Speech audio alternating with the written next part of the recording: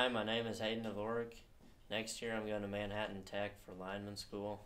Class of 2022, Panther proud.